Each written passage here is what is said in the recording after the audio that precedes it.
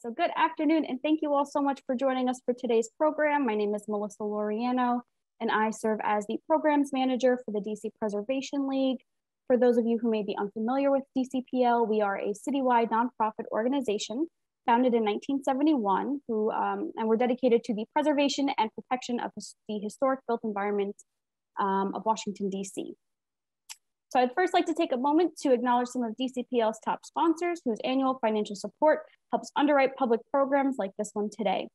And they are Dentons, Douglas Development, Antunovich Associates, Atlantic Refinishing and Restoration, Beyer Blinder Belle, Building Innovation Hub, EHT Traceries, and KCE Structural Engineers. So many thanks to you all for your dedication to historic preservation in DC.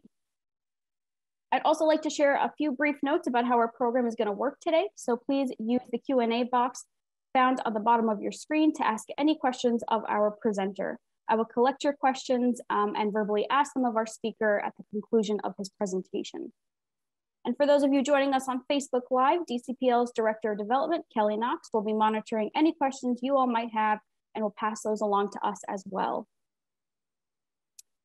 Okay, with that, I am so pleased to introduce you all to today's speaker. Alexander Padro is the Executive Director of Shaw Main Street, sorry, that was a tongue twister for a second, Shaw Main Streets Inc.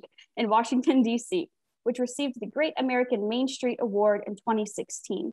Mr. Padro is responsible for the day-to-day -day management of the Shaw neighborhood's commercial revitalization and historic preservation efforts.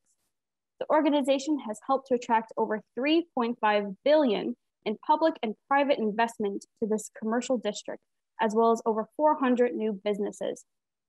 He has helped found Shaw Main Streets and served as chair of the organization's board of directors before uh, being asked to assume the role of executive director in 2004. He is a graduate of New York University and has been a corporate executive in the uh, publishing industry, as well as a small business owner. A Shaw resident since 1997, he has served 20 years as an elective advisory neighborhood commissioner and chairman of Advisory Neighborhood Commission 2C uh, 6E in Shaw. He is a board member for several nonprofits and, and advocates for preservation, affordable housing, and the DC public library system. So with that, I will turn things over to Alex. Thank you, Melissa, and good afternoon, everyone. Back in 2003, when Shaw Main Streets uh, was founded, uh, we decided that it would be important to, uh, to record the transformation of the neighborhood uh, so that we could demonstrate the impact that we had had in terms of playing a role in planning and in promoting preservation. Unlike uh, some of the other Main Street organizations in Washington, D.C., Shaw Main Street takes preservation very seriously, and I was a preservationist before I was a Main Streeter. So there were, have been two major projects along these lines that Shaw Main Streets has undertaken. Uh, the first was uh, to create a series of photo montages uh, of the buildings on every block in our service area on 79 streets back in 2004, which we use as a baseline. And then uh, periodically we take photographs of uh, blocks that have had uh, development activity take place uh, so that we can show the then and now. And then uh, several times over the past 20 years, we've gone out and taken photographs of to uh, parallel historic images uh, from the neighborhood uh, so that we could show, you know, how buildings have been successfully integrated into a new development and in some cases, you know, what we've lost. So uh, uh, this version uh, is the latest one and has been updated thanks to a grant from the Humanities Council of Washington, D.C. So we're going to um, see, a bit of a glitch with the uh, cursor, for which I apologize.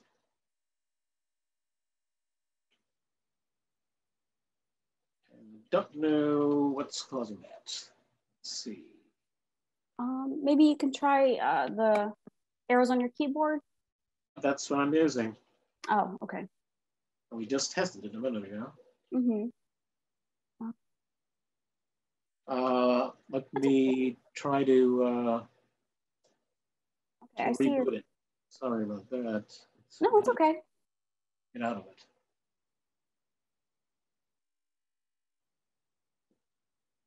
Hopefully it didn't crash.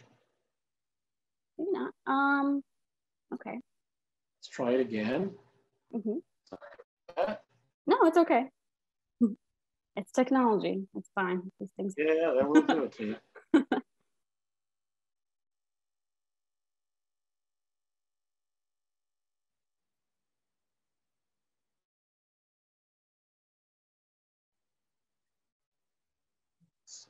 There we go. Sorry about that. So we'll start at Mount Vernon Square, uh, which is uh, the southern end of our service area. So we're going to take a virtual walk up uh, 7th Street uh, with some detours onto 6th and 8th, all the way up to, Florida Avenue. And then we'll, we'll uh, be magically transported down to 9th uh, and K, and we'll go up 9th Street. so it's almost as if we were taking a physical tour, except uh, that we don't have to deal with uh, the 90 plus uh, degree heat that we have today. So um, some of the images that uh, we're gonna be seeing today uh, come from uh, the, the, collection at the Historical Society, now the DC History Center. And this is one of those, and it's the Carnegie Library, which was completed in 1903. And then um, this is a 2004 image on the bottom taken from the same perspective. Now, uh, you'll notice that most of the photographs uh, have been taken with the intention of getting as close as possible to the perspective of, of the original images. Uh, so if you're wondering why some of the angles and shots might not be uh, as polished as you would expect, uh, we're intentionally trying to, uh, to replicate what the original photographer saw. Then this is directly across the street. Um, this is where today we have um, the, uh, the Renaissance Hotel. Uh, but uh, back in the day, this is in 1950, uh, uh, in the middle of the block, you have uh, the Hippodrome Theater, which was the original location of the arena stage. These buildings were all demolished you know, for new construction when the Tech World complex was developed. And then this is also across the street from the Carnegie Library. Uh, this is uh, you know, the, the, road, actually, it's the same block, except closer to, uh, to 8th Street, showing the mix of types of buildings that were present uh, before uh, the redevelopment of the area. So this is a recurring theme. we have a number of blocks that we'll be looking at, and you'll be you'll see the, the familiar types of one and two and three story buildings that are common along other commercial corridors uh, where they've survived. And we have a couple of intact blocks, uh, but unfortunately we did lose many of them So this is on the other side of, of 8th Street. Uh, this is also a view of, Tech World today. Uh, but uh, back in the day, you can see before uh, there was a high rise, and you can see the tower of the Marlowe Furniture Building, or at least that's what most people call it, in the distance there a block away. And here we are at, uh, at 7th and Massachusetts, uh, and uh, obviously a very prominent corner, uh, which has uh, had uh, some very dominant buildings on it. in the past, you can see an original People's Drugstore. People's Drugstore number one, view from 1910. And then today, you can see the was the Bureau of Alcohol, Tobacco, and Firearms. And then across the street on the uh, north side of Massachusetts Avenue, uh, you see uh, the, the Provident Bank building in the historic uh, photograph. And interestingly enough, uh, for many years, there, there continued to be a bank location in this building, even though, even after the site was redeveloped, the anchor tenant back in 2009 was NPR before they moved to North Capitol Street. Uh, but today, uh, a law firm is the anchor tenant to the new building, uh, which incorporates all of the space on the block. Uh, the previous building did not. And then directly across K Street, uh, this is one, one of my favorite shots from this presentation. because in the foreground of both of these photographs, you can see the historic cast iron fence that surrounds a small pocket park uh, at the, the intersection of, of, New York K and 7th Street. Uh, but in the historic photograph, you see the types of buildings uh, that were present on the footprint of the Washington Convention Center uh, before the 1968 riots and before uh, the uh, construction of the center. So the, the view from 2004 you know, shows that the only thing that has survived in this particular shot is the fence. On the footprint of the convention center, uh, we had you know a vast variety of different types of buildings, two, including two churches. Uh, so this view of one of the historic churches uh, is approximately uh, where uh, the, the, entrance of the convention center uh, is today. And then back on 7th Street, looking up at on the east side of the street, a thousand block. This is one of the most intact blocks of commercial buildings that we have left in Shaw. Uh, there's only one building uh, that is now uh, an infill building, but everything on this, this block is original. most of the buildings are owned by Douglas Development, who is tender loving care into restoring them and incorporating them into a new development uh, named 655 uh, New York Avenue, uh, which you can now see looming over the historic buildings in, in, the row that has been preserved. Uh, you can see in the photograph, uh, the historic photograph, uh, that for many years there, there was a notorious liquor store in that corner space, which later became the, the, first home of the Art All Night Festival back in 2005.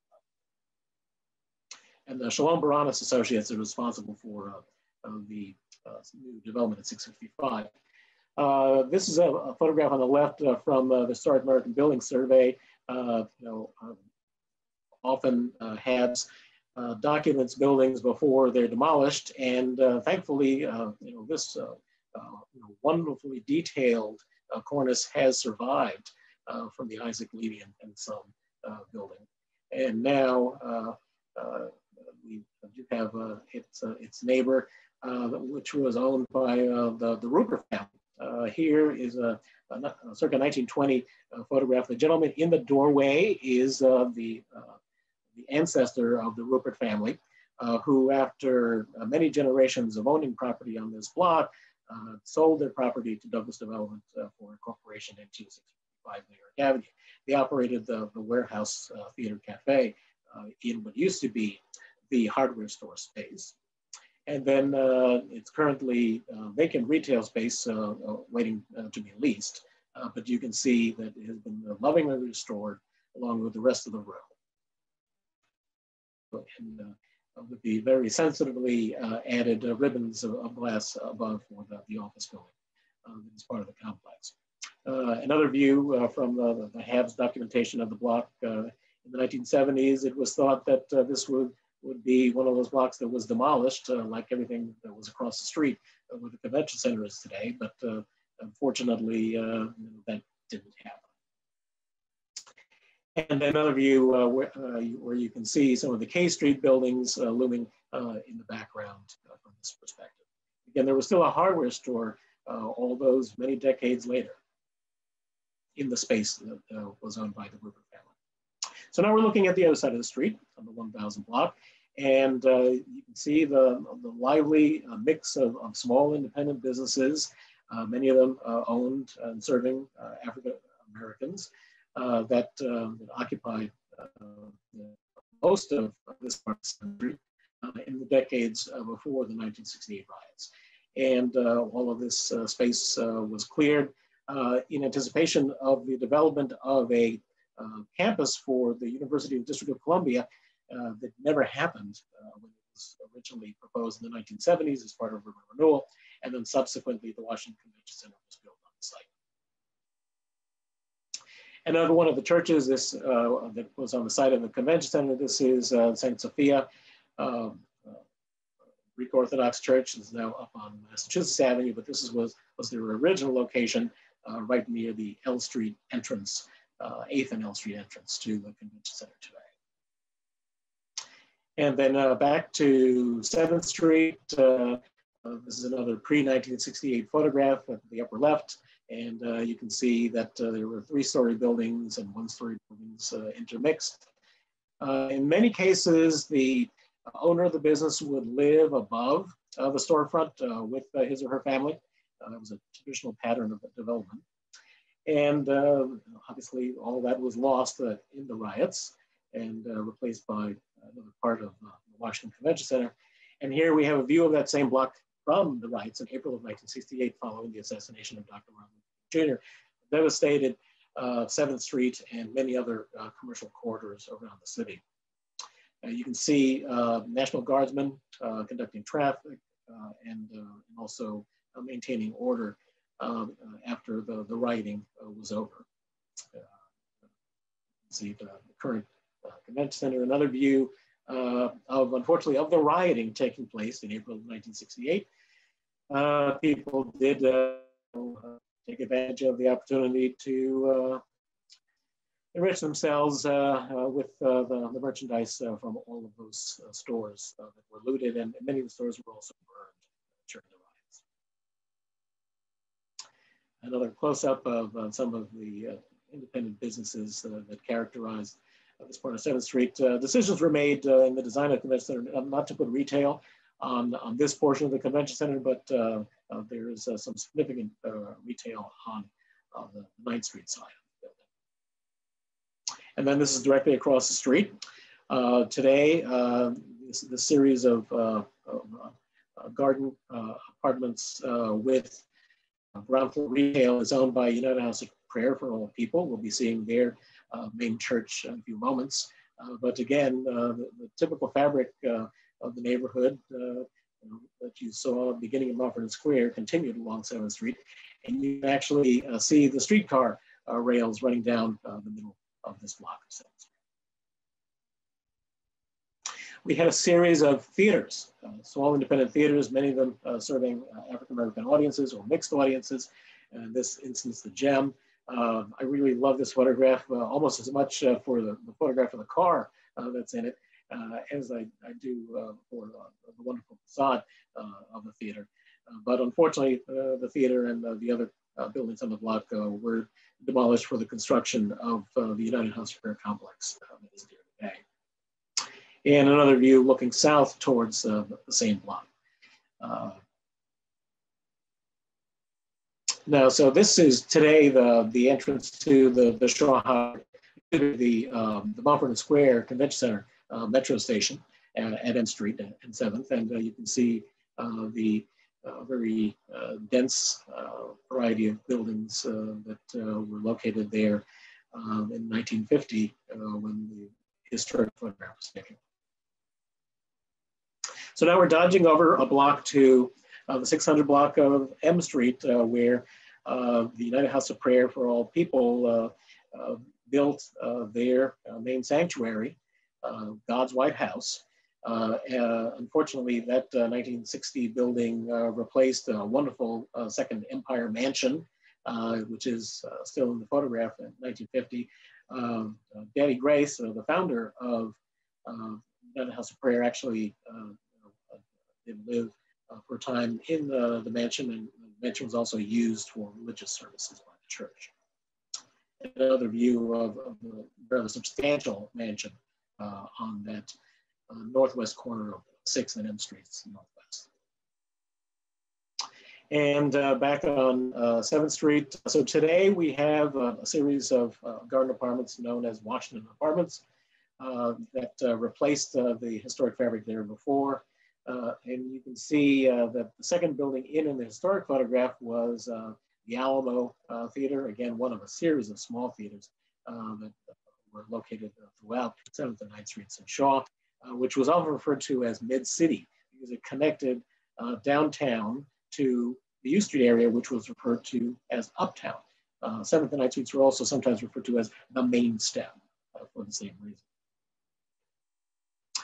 And uh, here a wonderful color slide from the press collection uh, from the DC History Center uh, from 1966, uh, just before the riots, showing the, the, mix of delicatessens and meat markets and theaters and haberdashers and clothing stores that, that the retail uh, that uh, still was active in the area.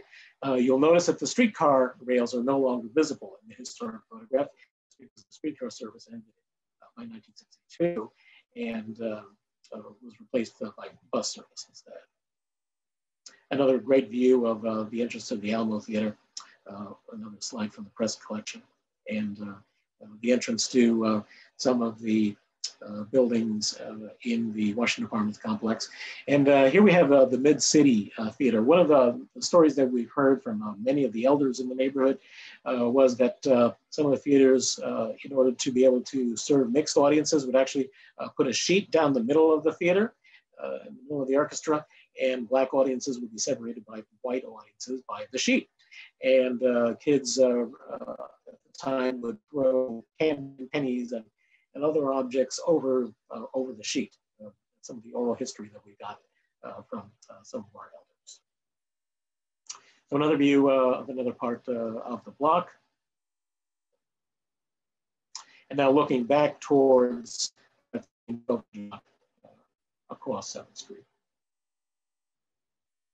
So one of the longest survivors uh, in Shaw is, uh, is this church at 8th and N Streets uh, Northwest, uh, which was built in uh, the Abraham Lincoln administration. So Immaculate Conception, you know, had its tower added at the turn of the 19th to the 20th century, but but nonetheless, it was originally a parish, excuse me, a um, a, a spin-off church uh, from uh, St. Patrick's downtown because Shaw was just too far for people to go to services all the way down uh, to uh, St. Patrick's. Uh, the, church also uh, built additional buildings for schools and convents and, and a rectory, all of which are on the National Register today. And another view of the church, also including one of the historic commercial buildings that managed to survive on 7th Street. Uh, that's the old 7th Street Bank building. Uh, it's uh, visible in both photographs at the lower right. And then turning the corner and going up towards uh, the O Street Market, which is a major landmark uh, in the neighborhood, uh, you can see once again the, the, type of commercial fabric that predominated in the area see the streetcar rails running down the street, and you can see uh, the O Street Market. And then in the, in the 2004 photograph, you see the O Street Market without its roof. Uh, you see the tower, uh, but unfortunately the roof was lost in a severe snowstorm in 2003. Uh, and uh, it was the better part of a decade uh, before the project that brought the roof back was able to move forward. So looking back on uh, the other side of the street, the 1300 block on the east side, uh, and that, uh, that rich, uh, you know, uh, uh, commercial fabric from the late 19th century, all has been replaced by this large apartment building known as Gibson Plaza. Um, we developed as part of urban renewal in the neighborhood by another one of the churches, First Rising Mount Zion. most of the the uh, apartment buildings uh, along 7th Street were actually built uh, by churches using uh, federal funds uh, from the, the, Department of Housing and Urban Development in the 1970s and early 1980s. So here we are on uh, the 1400 block of 6th Street, and we see a pretty typical three-story block row houses, which in 1950 were still in place, but uh, Uh, were demolished uh, uh, shortly thereafter to uh, create a parking lot uh, for DC public school buses and other public vehicles. today, it's the playing field and the barbecue grove for the Kennedy Playground. And uh, the, the, building that's partially obscured uh, by a tree in the historic photograph is Washington, D.C.'s original high school. There was only one high school in the city, folks, uh, when uh, Washington High School was built. Uh, later, an Eastern High School, a Western High School, and a Central uh, High School were, were built. this was at one point labeled Central High School and had a number of notable graduates, including J. Edgar Hoover of uh, FBI fame. Uh, it later became a, uh, vocational school, Alexander Graham Bell Vocational School, and then later was demolished for the parking purposes that I mentioned before it became part of the, the Kennedy Playground uh, in 1964, one of the first uh, tributes to the slain president. Here's another view of the O Street facade of uh, the original Washington High School, uh, later uh, Central High School. And you can see part of the current Kennedy Recreation Center building at, at, the lower level. And here we are at the O Street Market. So it really is smack dab in the center of Shaw. Uh, Shaw was uh, originally named in 1966 when the attendance boundaries of Shaw Junior High School, building we'll see in a few minutes, uh, were used to uh, define an urban renewal area. So just like Adams Morgan uh, was the result of two uh, schools, uh, um, attendance boundaries being combined to form an urban renewal area. this one used the, the Shaw Junior High School boundary. And when this photograph was taken in 1974, renovation work was being conducted on the park to be able to, uh, to put it back into productive use, you'll notice that the shed surrounding uh, the market, uh, which originally covered uh, additional vendors, uh, was subsequently uh, removed. And then here's a, a, view again of, of the O Street Market without its roof as a result of that snowstorm that I mentioned earlier.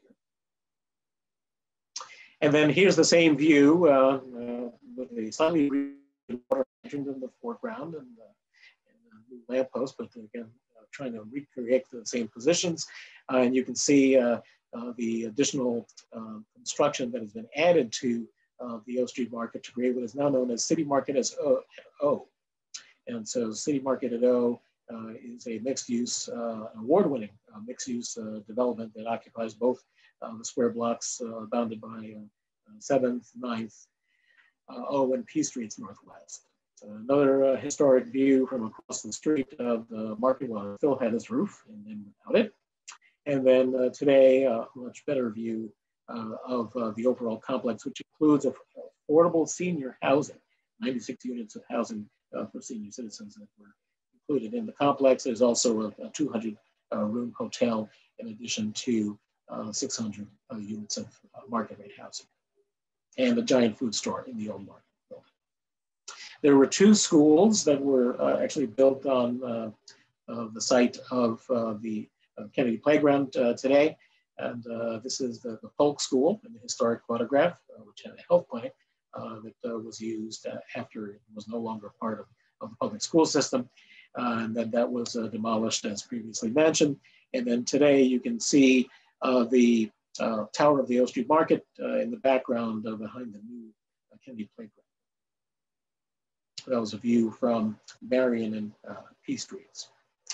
Uh, the historic building in uh, the building uh, the photograph at the left uh, was known as the uh, Tyson House, which was a hotel which was used by farmers bringing their produce into market, whether it was Center Market or the O Street Market.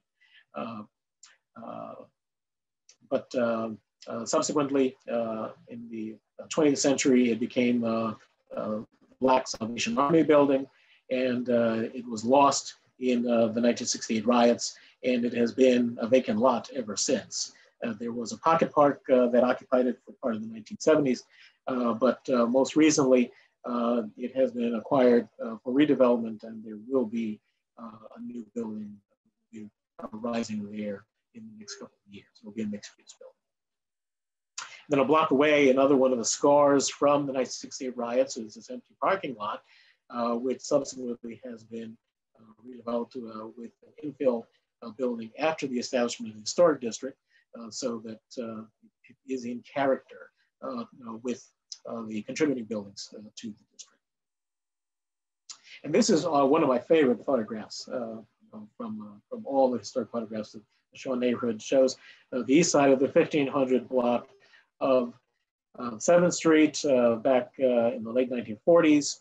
Uh, you can see one of the islands uh, where passengers got on and off the, the streetcars and the fantastic you know, Broadway Theater, which unfortunately was lost as a result of, of urban renewal. It was, uh, it's actually survived the 1968 riots, and it was, but it was felt by the, the owner that it would be easier to redevelop if, if lot was cleared. And no development proceeded there uh, for, for many decades afterwards. Uh, the, the, historic building that survives next to the site of the Broadway Theater um, is a former uh, lumber yard, uh, which uh, is notable because it's currently home to Bread for the City. And the architect, John Williamson, redeveloped the, the building for uh, that health clinic uh, using a lot of exposed lumber inside in tribute to its previous use. And then this is the, the extension to uh, Berkeley City, uh, which was uh, completed in, in, the past decade. Uh, one of the things that I had suggested as an ANC commissioner to the architects that they try to bring some element related to Uh, the, the, marquee of the theater. And uh, you'll see that uh, indeed they did add um, a punched metal screen uh, just sharing a couple more images uh, of, uh, the theater over time. what, what a loss. Um, love to have had this be another wonderful part of the community, just like the, the Howard Theater and the Lincoln Theater. But um, alas, what we have today instead, uh, you can see the bread for the city is actually spelled, spelled out in a, punched metal screen uh, that is intended to be an homage uh, to the fact that uh, the site once held this theater, which uh, uh, served African American clients. And then directly across the street, we had for a number of decades a series of, of two-story garden apartment buildings known as Kelsey Gardens. Uh, they were all affordable. They were built uh, by uh, another one of the churches here in the district, and they replaced uh, the fabric that was lost in the fires of the 1968 riots. Uh, and now those have been, in turn, uh, replaced by development known as Jefferson Marketplace. it's a mixed use. Kelsey Gardens had 54 units of housing. There were 281 apartments in the replacement and a wonderful um, use of uh, the retail spaces uh, by some uh, very dynamic and diverse establishments on this block. Other blocks you'll notice along 7th Street have no retail. when urban renewal set in, the decision was made to not include retail, which has resulted in some significant, significant gaps in the retail fabric, uh, primarily along 7th Street. And here we are at 8th and Q and another survivor. Uh, this was originally uh, the uh, Immaculate Conception uh, Girls School, uh, which uh, was managed by the church that we saw two blocks away. and longtime residents remember the, the students in their uniforms being marched back and forth to the church from of this building, which continued to be owned by the Roman Catholic Church after it was no longer a school. It was Fides House, it was a mission house, and then today is uh, the Ujamaa Shule, and Afrocentric school. So uh, back to 7th Street, looking back on that block where Kelsey Gardens uh, was located. And then here we have uh, what was originally built as uh, McKinley Technical High School. And you're thinking, well, McKinley's over in Ward 5. Well, originally it was here at 7th and Rhode Island Avenue. Uh, it was originally a much smaller school, uh, but it became so popular that it was expanded. It was designed by the same architect uh, that created uh, the Gothic Revival buildings on the University of Chicago campus. It is now an individual landmark on the National Register and the DC Inventory of Historic Sites. But in 1928, uh, when the new McKinley, the current McKinley High School was completed, uh, the, the, school was turned over to the African American uh, school system, the colored segregated school system, and it became Shaw Junior High School. And so therefore, this is the building that gave the neighborhood its name. Today, it is Asbury Dwellings.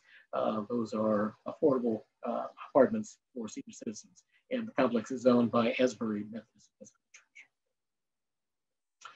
And uh, we talked about the high schools in the area. This was another of the high schools. Uh, this was uh, the original Cardozo High School. It was the business high school for Black students. Uh, at one time, there were three shifts of students uh, being run through the school. It was so popular.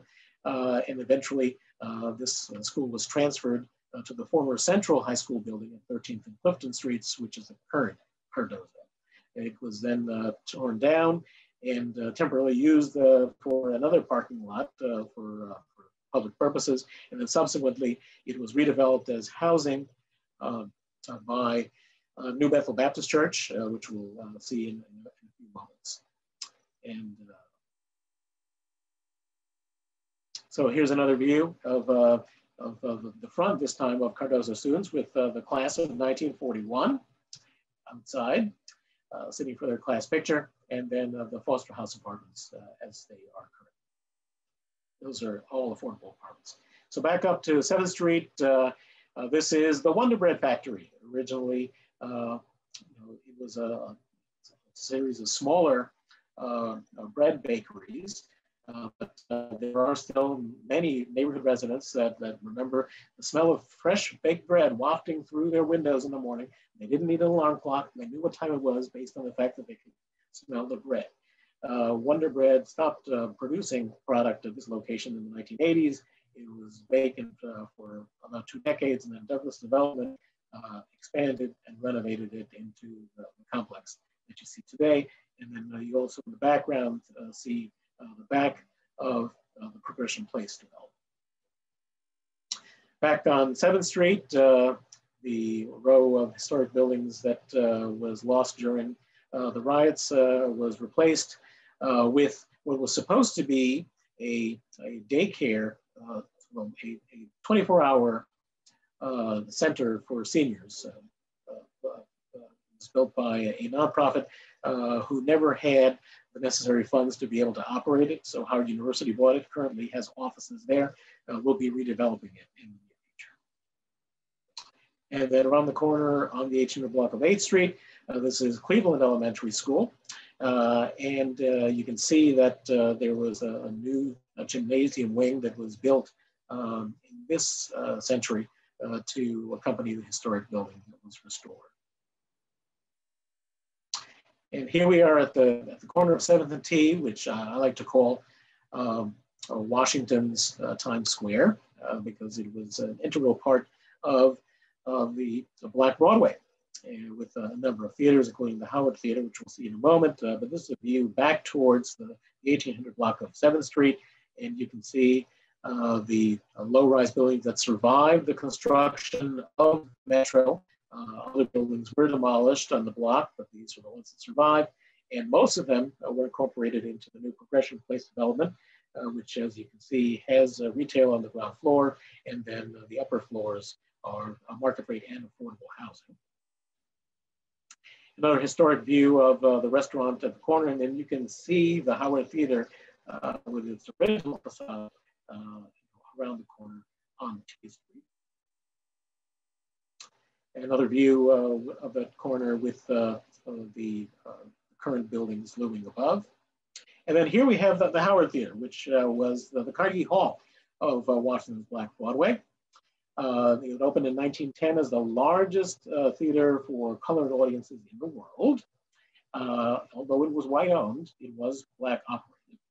And uh, you know, the, um, the entire pantheon of African American entertainment in the, uh, the 20th century uh, played at the Howard Theater, which had a modernization to more of a modern or Art Deco style with stucco around 1940. Um, that's the facade that, uh, that remained uh, in the photograph at the, the lower right.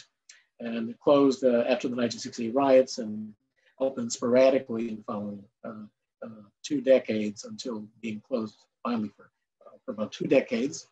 Uh, and then here we have uh, the Howard Theater today. Uh, we, because of the stucco that was applied to the facade, it was possible to remove that and recreate uh, many of the lost elements of the facade, but all the window and door openings are the originals that were able to be restored uh, by this project. And so the Howard Theater is uh, once again open, and now you can see additional development that's taking place uh, immediately to the east. So this is a complex known as the Shaw, and uh, in front of the Shaw is a statue uh, entitled Encore, which is a tribute to Duke Ellington, Washington, D.C.'s often played at the uh, Howard Theater, but also that red uh, facade that we, was retained uh, in, uh, into the, the, development of the Shaw was actually the home of a sign painting business that was owned by Duke Ellington uh, before uh, he achieved fame as a composer and the family. So here we are at the, at the, intersection of 7th and T. Uh, uh, this building uh, was developed in 1920 uh, by a Virginia-based insurance company, an African-American insurance company. previously had a theater on the ground floor and subsequently today has a bank. You can see that all except for one empty lot on that block has survived. Uh, this is what the building looked like uh, before renovation. It stood vacant for many years because a nonprofit had, had acquired it for a dollar and did not have uh, funds to be able to renovate it. And then uh, Jefferson Builders uh, did an award-winning restoration and renovation of the building. It's apartments above the bank today. And another view of the, the building when I first saw it, when I first came to the in, in 1994. Uh, just, just like uh, the Howard Theater, uh, we despaired of, uh, of this building ever being restored, but uh, now it's a wonderful uh, stainless steel uh, marquee once again gleams, and the restoration of the neon sign was a major point in the redevelopment of 7th Street. Uh, here we can see more damage from the 1968 riots. Uh, the buildings in the background are still there, as you can see in the contemporary photograph. Uh, in the foreground, there's a CVS, and in a build in a lot that's owned by Howard University and is due to be redeveloped uh, in the coming decade. And then you can see some of the new development in the back uh, called the Shay, not the Shaw, but the Shay, uh, uh that is rising uh, along East.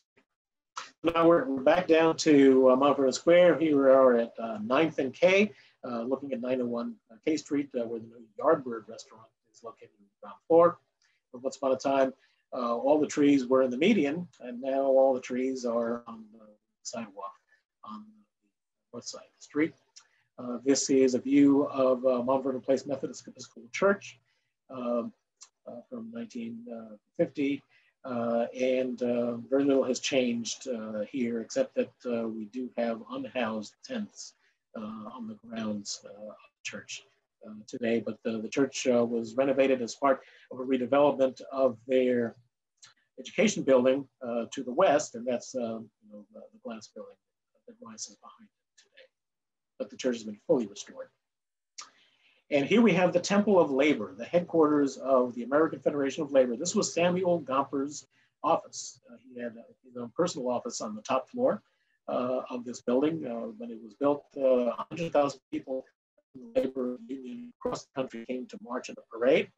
Uh, you'll see that it uh, was one of the only survivors of uh, the 1968 riots and the, the clearing uh, of remaining buildings that took place uh, for new development. And it's been incorporated into the new Marriott Marquis Hotel.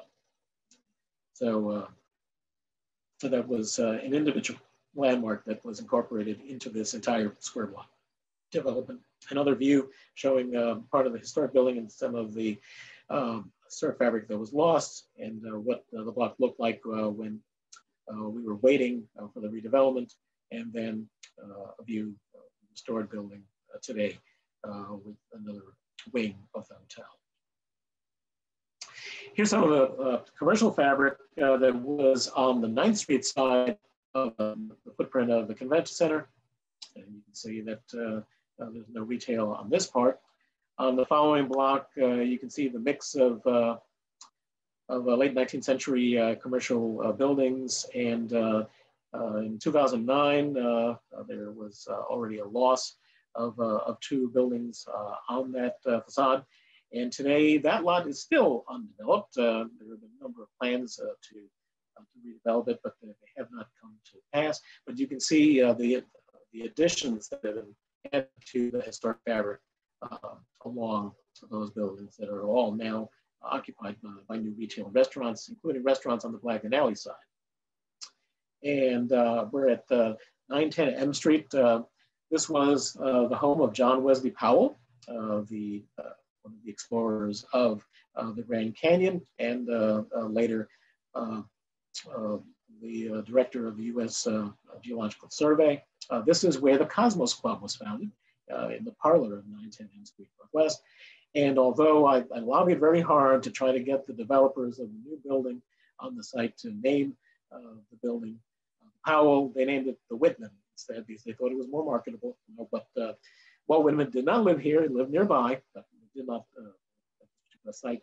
Uh, but if you've ever seen the movie Being There, there's a site where a number of gentlemen are warming their hands over Uh, barrel fire. Uh, that's the site of uh, Directly across the street, you have the, home of Blanche K. Bruce, who was the first African-American to serve a full term as a senator in the United States Senate representing Mississippi. Uh, and uh, this is uh, his home, which is on the National Register today, which is a private home. Now we're inside Blagden Alley. this 1920 photograph um, meant to show the, the decrepit conditions, conditions of uh, the alley dwellings uh, back there.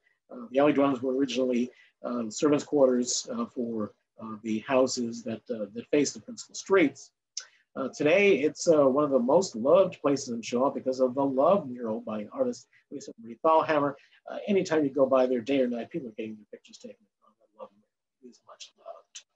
And as part of the DC Alley Museum, if you've never been, been down there, there's about a dozen and a half murals on roll down uh, gates and on walls um, in Blagden uh, this uh, former Tally Ho Stables and Naylor Court, which is the alley system immediately to the north, of Blagden Alley, uh, is currently the home of the DC Archives. But once upon a time, uh, the, uh, the water sprinkling, sprinkling trucks, which were used to hold down dust on our streets, kept here along And now we're up at, uh, at 9th and P Street. Uh, this is the side view of uh, Shiloh Baptist Church. Shiloh arrived in the 1920s. they had been relocated from Fredericksburg, uh, Virginia uh, during the Civil War, uh, located originally downtown and then occupied another church at this site. the church has had two fires. the second fire lost uh, the original roof, but uh, nothing but the four walls remained. Uh, the church decided to once again rebuild, and they continue to be an anchor to the community. and then around the corner, we have what we call Woodson Row. Uh, the Carter G. Woodson House uh, is uh, the second house uh, from the right in each of these photographs. It is now uh, part of the National Park Service system as the home and offices of the father of Black history. Uh, but in 1979, these HABS photographs were meant to document what was feared might be lost in terms of our store fabric. the buildings were boarded up for many years uh, and then uh, subsequently, uh, they now have been restored. they're waiting incorporation into a new development, except for the Woodson House and the two buildings to the north, which are a part of the National Park Service Another view from the 1970s of the Woodson House and in 2009. Uh, the house was abandoned uh, for many years uh, by the association that Dr. Woodson formed and then uh, was eventually acquired by the National Park Service System and fully restored and can be visited today. You can see the original Associated Publishers signage on the front of, uh, of the building historically. Another major landmark in the neighborhood is the Phillis Wheatley YWCA, originally part of the National uh, YWCA system uh, built for African American women, uh, subsequently uh, independent and now no connection to the Y system, but it is a single room occupancy residence uh, for women uh, that recently has been renovated. And uh, on the other end of the block, uh, we had in the historic photograph uh, the, the residential buildings that, that filled that block of Rhode Island Avenue, where subsequently Cardozo Playground and Shaw Junior High School were built, and where the current or the new Banneker Academic High School is currently under construction. And around the corner, uh, we have uh, one of the first all African American firehouses in the city, uh, which uh, subsequently uh, was converted into housing. It was also a neon art studio for a number of years. And uh, here we have another one of the anchor churches in the neighborhood. this is Lincoln, Lincoln Temple Congregational Church, uh, which is currently vacant uh, for many was uh, an anchor church for the Black intelligentsia. and this is the original church in the historic photograph, and they're their new church from the 1920s. Uh, currently, the Shaw Community Center operates from this facility. And here we have New Bethel Baptist Church, uh, which for 50 years uh, uh, had as its pastor uh, the first DC delegate to the United States Congress, Walter Fauntroy. street on S Street is now named Walter Fauntroy Plaza. Fortunately, this historic building was demolished as part of urban renewal when this new church was supposed to be reminiscent of Noah's Ark was constructed. And uh, in addition to all of the new construction that happened uh, in uh, the, the Shaw neighborhood uh, during urban renewal, uh, there were also improvements that were made in the community here. we have you know, some of the handicap ramps and new curbs that were installed as part of the Shaw School Urban Renewal Area project. You can see the project signage in the, the historic photograph. And uh, this is a block that is in the greater U Street Historic District. There are actually uh, you know, uh, several historic districts that all uh, are part of our Shaw Main Street District, including Mount Vernon Square uh, Historic District, uh, the Shaw Historic District, Greater U Street, and the Blagden Alley Naylor Court Historic District. And we're going to wrap up at the corner of 9th and U, the entrance to the, the U Street corridor uh, with a series of historic photographs that were taken from the second story window of what is today Nellie's Sports Bar, which you may have heard in the news recently. But before it was Nellie's Sports Bar, it was home to the Scurlock family of photographers. They were the noted photographers of African American life in, uh, in, most of the 20th century. Uh, so if you were uh, you know, graduating from school, or if you were someone notable, or you were having a wedding or some kind of a fraternal uh, event, you would always have a Scurlock photographer, photographers take your photographs. But here you have uh, a member of the Scurlock photograph taking pictures outside of the window of their home and studios across the street. And you can see the looters looting uh, the record store uh, that, uh, directly across the street. A block away uh, toward the upper right, you can see what is today the 930 Club. And for decades later, this building uh, was boarded up, as you can see from the photograph uh, below. This is a view across the intersection uh, of the riots, and you can already see you know, police and National Guardsmen trying to restore order in the area. And you can see that part of uh, the block uh, has been preserved, uh, while some of it was removed for a modern office building owned by the DC Housing Finance Agency, which is about to be redeveloped. And here's a, a great scene uh, of a Jeep uh, filled uh, with National Guardsmen on patrol during the 1968 riots. another view of, of that building that is today the Brixton, the corner building, very popular bar. And this is the view of the, of the Brixton today. And uh, this is the point, if we were actually doing a walking tour where I would uh, thank you all for coming out. And uh, you would ask me where to go to have uh, lunch or dinner after the tour. Uh, you can go to shawmainstreets.org for more information about uh, the 320 mostly independent businesses, mostly food and beverage and entertainment establishments that are in the neighborhood. And I'd be happy to answer any questions that you've provided. Well, thank you so much, Alex. That was really amazing. Um, and I'm always a big fan of kind of seeing those like before and after or like past and present kind of photos side by side because you can really see how things have changed over time. Um, but it was also wonderful to see, you know, what is still historic, what is still, you know, standing and what has been utilized by the by the current uh, neighborhood, the community. So that was really wonderful. Thank you. Um, so yeah, so we have a couple of minutes for any questions that folks might have um, here with us on Zoom or, or on Facebook Live. Okay, uh, so Lawrence has a question. Um, how difficult is it now to raze a historic building in Shaw? Well, ideally, you don't want to raze any historic buildings. Uh, we, uh, unfortunately, you know, from time to time, do have some buildings that are that are uh, lost because uh, of their a loss of integrity, structural integrity. Even in some cases, uh, we've actually seen the Historic Preservation Review Board uh, order a developer to disassemble a carriage house uh, that was in, in, bad condition and put it back together again so that it could be reincorporated. In some cases, some of our uh, buildings have been moved around uh, so that they could, uh, so that new development could be facilitated. In some cases, building entire buildings have been moved across the street uh, temporarily while garages were built, and uh, and then these buildings were put back in. 655 New York Avenue is an example where several of the buildings were moved around and, and reincorporated. Uh, and uh, unfortunately, we did have uh, a situation just last week where some historic fabric that was not included in uh, Triangle Historic District, which is another historic districts that intersect uh, Shaw Main Street uh, area, was proposed to be landmarked, but the, the board chose not to landmark. So, um, no, no, ideally, historic fabric is being incorporated into new development.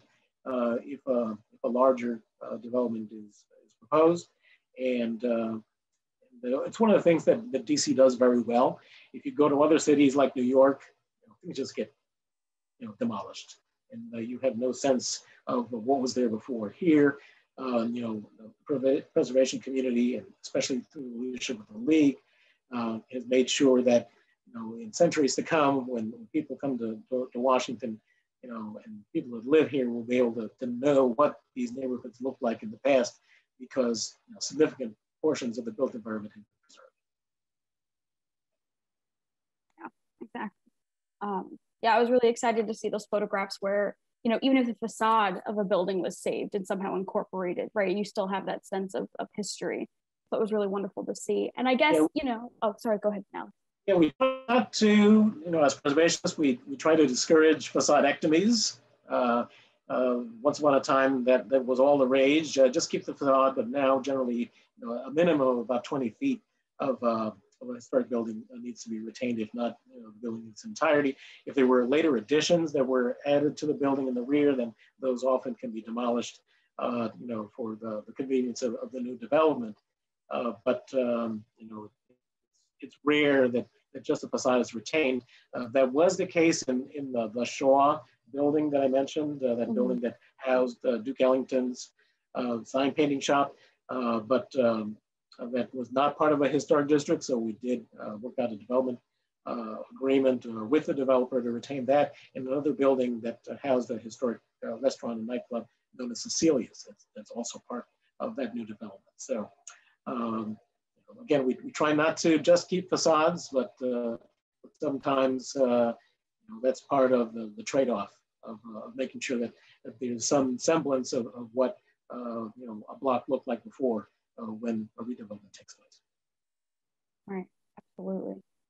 Um, so we haven't gotten any other questions, but that kind of made me think of a question. Could you talk more about um, yeah, like the role that Shaw Main Streets has played. I mean, you talked about this kind of throughout your your presentation, but just to give folks like more of an idea, you know, um, how you do interact with and kind of meet with developers or architects, like kind of giving us more information about like how you work with them to try to keep as much as you can of the historic nature of the neighborhood.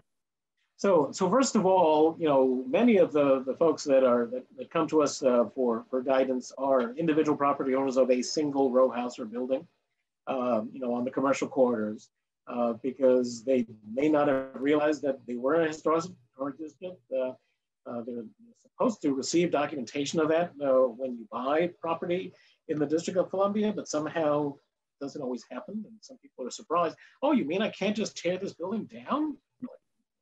Not really. Yes, you just spend a million and a half dollars and you can't tear that building down.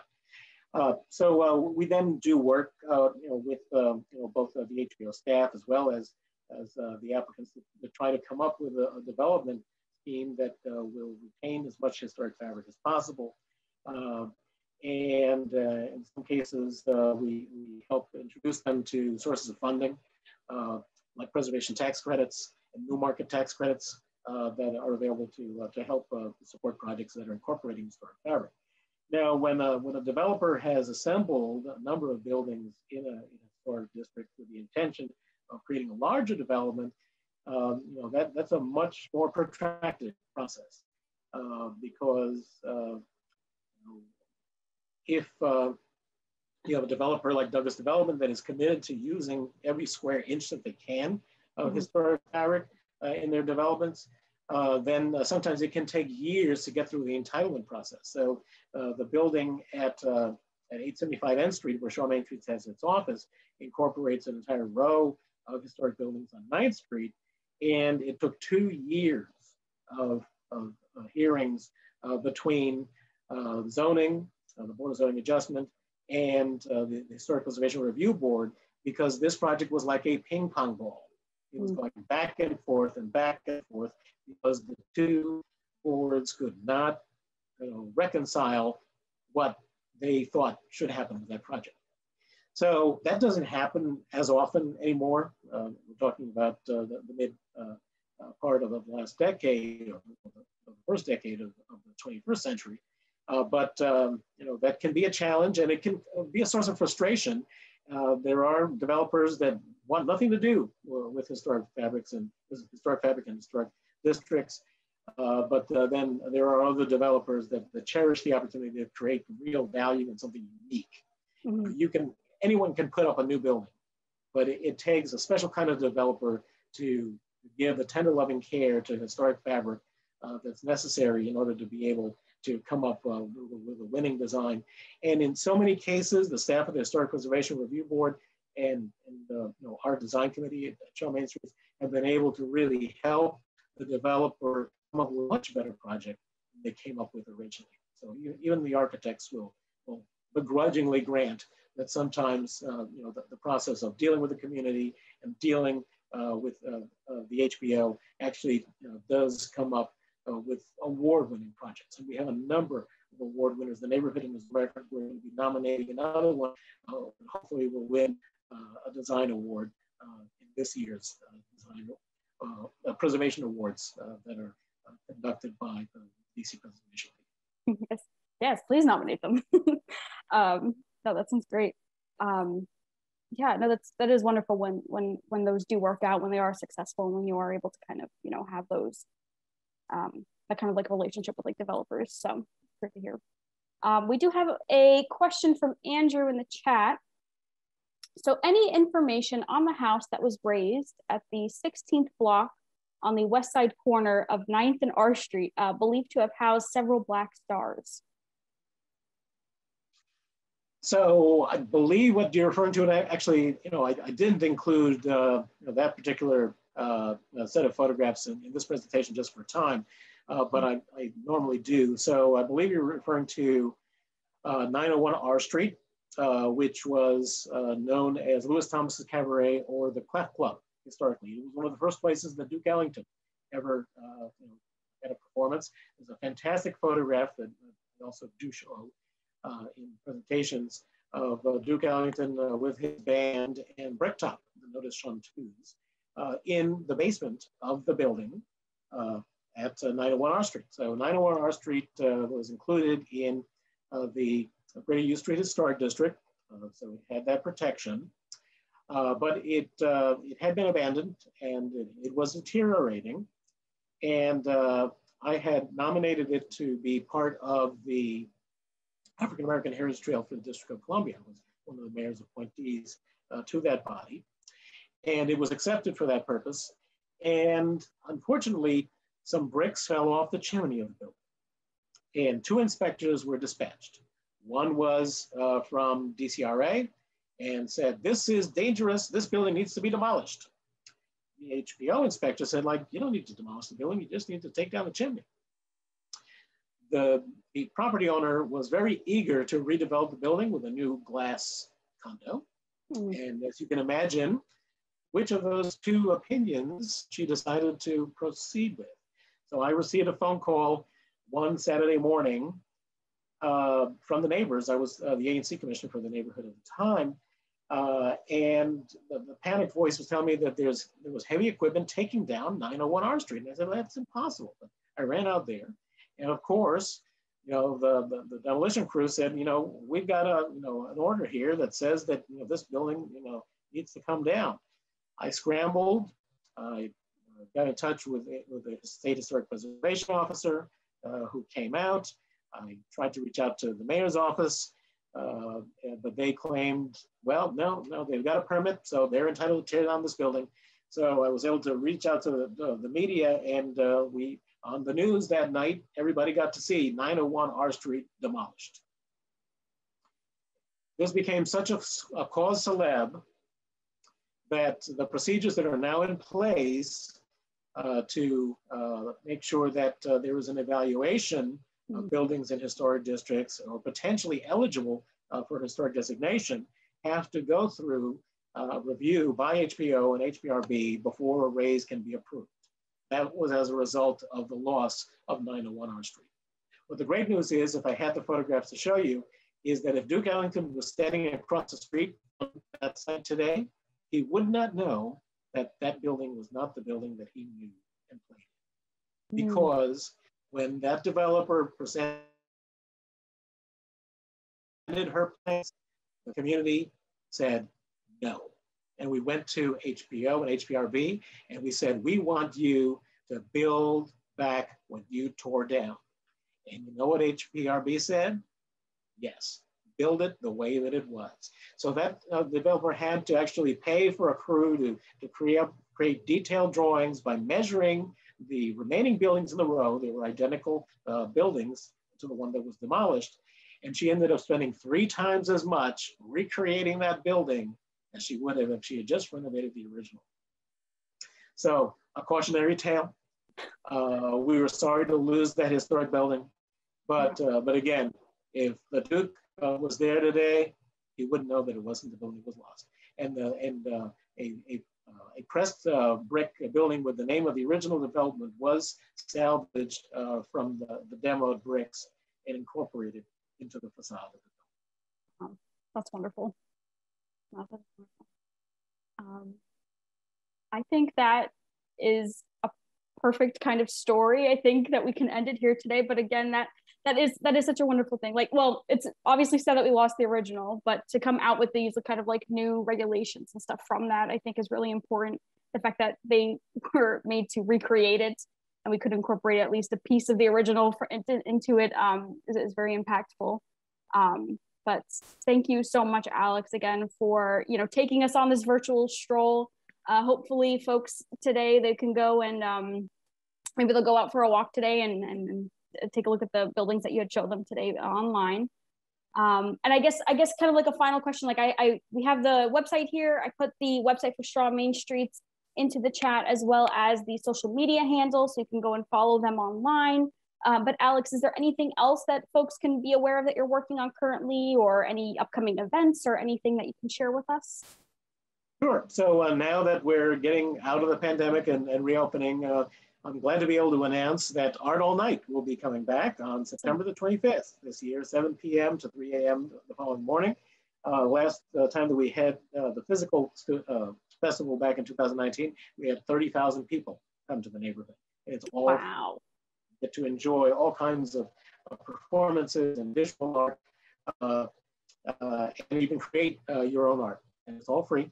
And uh, if you want to spend some money in, in some of our neighborhood bars and restaurants while you're here, you're welcome to do that as well. Mm-hmm. Uh, so again, uh, September the 25th, uh, starting at 7 p.m., uh, you can get information at our website and also at Art All Night Shaw, excuse me, Art All Night DC Shaw.com. So one more time, Art All Night DC Shaw.com. Mm-hmm. and then also in October, uh, our, our annual Eat, Drink, Shaw event. Uh, we'll be coming back to the, the, Howard Theater. That's where we have about 25 different bars and restaurants uh, providing samples of what they do best. Uh, so it's a, a, ticketed event, uh, but uh, you you get uh, you know, several you know, hundred dollars worth of, of food and beverage for your $75 ticket. So yes. watch for, for news on, that, on that event. And if you haven't been to the Howard Theater, inside the Howard Theater, it's a great opportunity to, to be able to, to check out the wonderful um, you know, 21st century entertainment venue has been created within uh, the restored shell of the original. Ah, that's wonderful. So yeah, absolutely worth the ticket price. Um, but that is so exciting to hear. And I know I'm looking forward to those events and, and hopefully our folks here who have attended will go check, uh, go learn more about them on your website. Um, yes, thank you, Christina. Christina put the art all night dcshaw.com into the chat so you can go learn more there. Um, thank you again, Alex, for this. And I'm so happy that you uh, were mentioning theaters because, uh, funny enough, next month, as part of our 50th anniversary, uh, July, we are highlighting historic theaters in the district. So I think this is like a really good transition into that month as well. Um, so please be on the lookout for that. We have some exciting events coming up uh, related to historic theaters in the district. Uh, you can learn more about that on our website or you know sign up for our newsletter. Uh, but again, please, I encourage you to check out the Shaw Main Streets website, follow them on online. And uh, big thank you again to Alex. And thank you to uh, all of you as well for joining us today. So I hope you all have a wonderful rest of your week, a nice uh, holiday weekend, and uh, we look forward to seeing you all soon.